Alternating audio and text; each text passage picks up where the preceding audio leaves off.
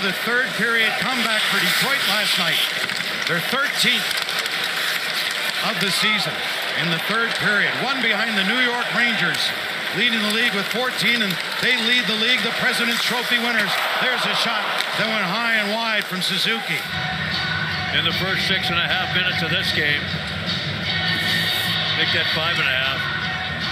Boy, JT Compher got a skate up near the face somewhere. I don't know if it caught him or not, but see the Montreal player. Oh, boy, is he lucky or what? I think he's lucky. Still on the bench. We'll have to see. Czarnik out with Sprong and Veleno. Uh, a sighting on JT Compher. He took a skate right there to the side of the oh. head, on the left side of his head from Slafkovsky. Now he is cut. He's got his towel. He's heading to the other. The Red Wing bench is on the far side of the ice by the penalty box. You got to go off over there where the spare goalie sits in this building.